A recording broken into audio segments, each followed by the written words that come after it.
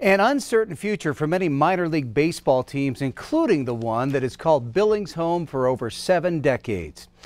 It would certainly be a bummer for baseball fans, but what would it mean for the city of Billings if baseball goes through with a restructuring proposal that could make the Pioneer League a thing of the past?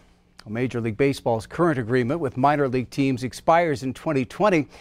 After that, it's anyone's guess what the future holds for minor league baseball. Q2's Mitch Legge tells us what's next for the city of Billings and the Mustangs home field or Dehler Park if 2020 turns out to be the last season of pro baseball in Billings. Billings Mustangs superfan Billy Ellis has been at every opening Mustangs game 25 years in running. He remembers the rain soaked final game at Cobb Field 12 years ago. It was just a weird way to say goodbye to that stadium, and now, not even 11 years now, we're going to say goodbye to the whole team.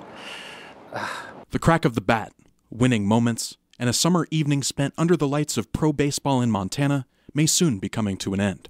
Top baseball leadership want to restructure how players are brought up into the majors, proposing to cut 40 of the 160 minor league baseball teams across the country. The entire Pioneer League is on the chopping block, which means the Missoula Paddleheads, Great Falls Voyagers, and the Billings Mustangs may be no more after the league's agreement expires at the end of the 2020 season. Now, cutting 40 minor league teams would cut costs for the organization, allowing it to lower the amount of money subsidized to minor league teams and change team locations to make travel more efficient. Well, here at Dehler Park in Billings, not all is necessarily lost if the Mustangs don't return. MSUB and American Legion teams, the Billings Scarlets and the Billings Royals, will still play here. But that means a loss of 40 games per season at Dehler Park as well as the loss of the $60,000 that the Mustangs paid to the city to play here. But the Billings city government and Mustangs owner Dave Heller want to keep the ponies playing in the Magic City. I don't believe there's any minor league owner who is more engaged in this conversation than he is. And so that I think works to, to our favor as well because this is not, we're not being just kind of brushed to the side as some small you know, market in, in Montana. So if the Mustangs end up leaving Billings, where does that leave the city government? The city owns the ballpark. It was built in 2008 with $12.5 million of voter approved bond money.